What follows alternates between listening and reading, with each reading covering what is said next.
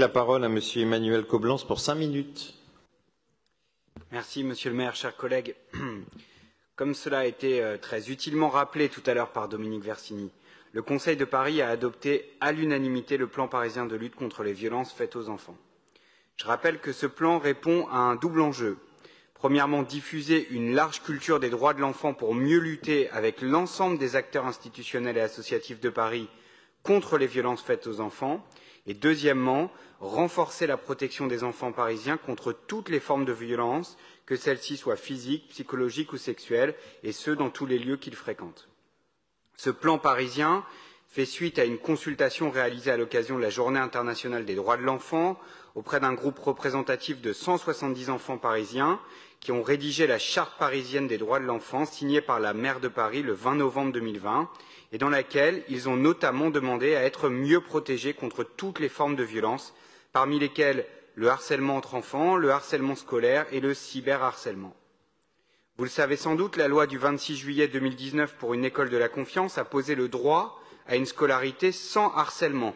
Aucun, élève, aucun enfant ne doit subir de la part d'autres élèves des faits de harcèlement ayant pour objet ou pour effet une dégradation de ses conditions d'apprentissage, susceptible de porter atteinte à ses droits, à sa dignité ou d'altérer sa santé physique ou mentale.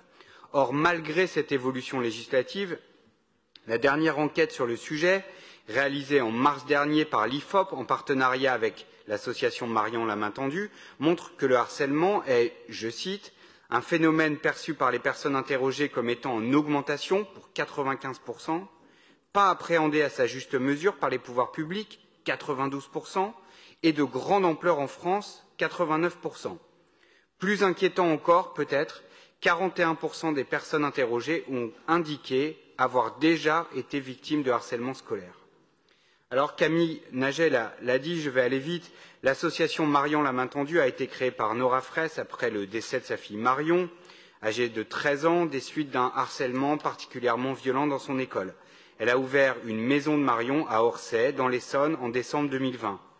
L'association y accueille, prend en charge et accompagne des enfants victimes de harcèlement et leurs familles, mais aussi les enfants harceleurs, ce qui est très important.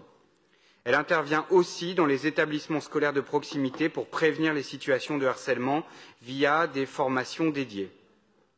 Lors de notre séance d'octobre, le Conseil de Paris a voté l'octroi d'une subvention de 45 000 euros à l'association Marion la main tendue, visant à lui permettre de développer une action similaire à Paris au bénéfice de tous les enfants parisiens. La ville a identifié un lieu pouvant être mis à disposition. Ce lieu se trouve au, sein du centre maternel Le Dru-Rollin National, rue Nationale dans le 13e arrondissement, ça a été dit. Imaginé par Nora Fraisse avec sa formidable énergie, avec son engagement, cette seconde maison de Marion, on espère bien sûr qu'il y en aura ensuite beaucoup d'autres sur tout le territoire français, va bénéficier à tous les Parisiens.